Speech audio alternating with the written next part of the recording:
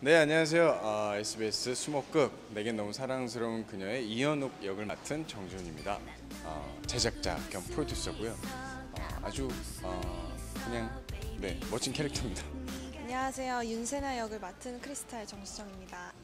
어, 윤세나라는 캐릭터는 가진 게 아무것도 없지만 작곡가라는 꿈 하나로 열정적으로 사는 아이고 어, 이제 현우 오빠를 만나 행복하게 사랑하는 거죠.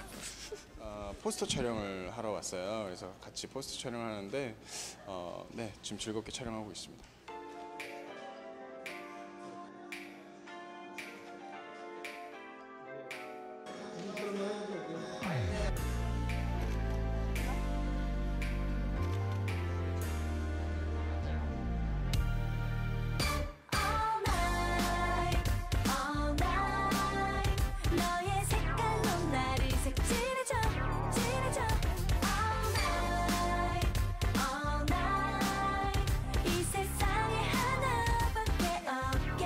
저부터 할게요.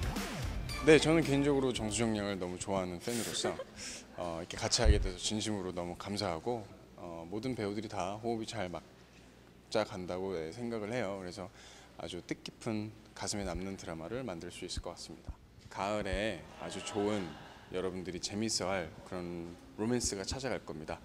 어, 수목이니까요. 어, 9월 17일부터 방영되니까요.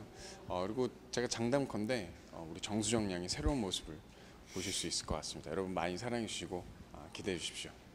할 말씀 하시죠? 많은 관심과 사랑 네, 부탁드립니다. 사랑합니다. 네, 고맙습니다. 감사합니다.